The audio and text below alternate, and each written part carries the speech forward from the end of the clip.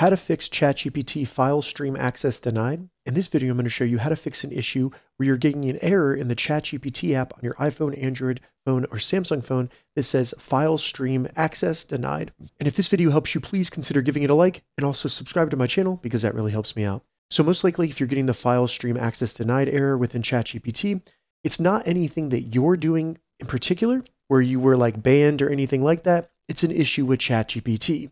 So the first thing I would recommend doing is simply closing the ChatGPT app.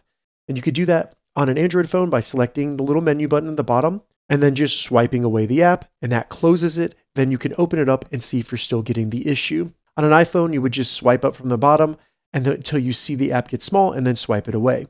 Now, if you're still getting that issue, what I recommend doing is making sure you have the latest version of ChatGPT on your phone because this could definitely cause this error. And to do that, open up your respective app store, either the Google Play Store on an Android phone or the App Store on an iPhone, and then just search ChatGPT. Once ChatGPT comes up, select it.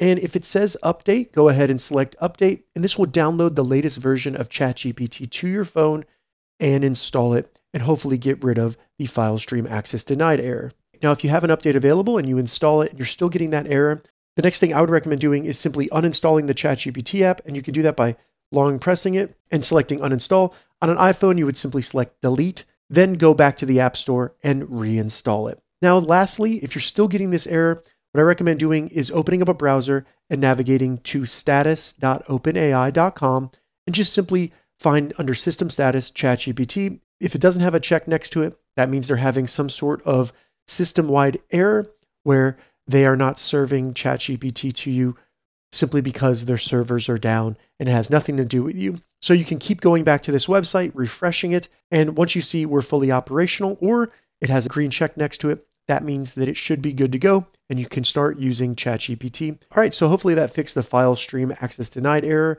on ChatGPT. If this video helped you, give it a thumbs up and please consider subscribing to my channel.